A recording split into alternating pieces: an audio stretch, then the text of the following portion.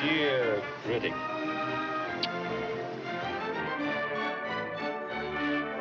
I'm a playwright. I write unproduced plays. What is your annual income in round figures? In round figures, zero. Is George still given to smashing things? Well, we have to tell him the truth, regardless of what happens to the furniture. Do you love him? Oh, Max. People should never ask that question on their wedding night. It's either too late or too early. Undesirable attentions to Miss Gilda Farrell.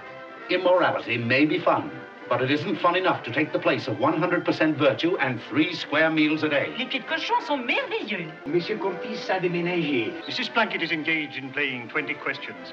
Animal, vegetable, or mineral? Animal. Busy? Tremendous. No sex. Mm-mm. It's a gentleman's agreement. May be a bit difficult in the beginning. But it can be worked out. Oh, it'll be grand. Save lots of time.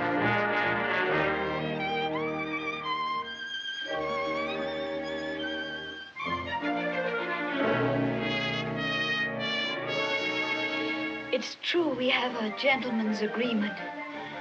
But unfortunately, I am no gentleman. Egelbauer. Eagle. Eagle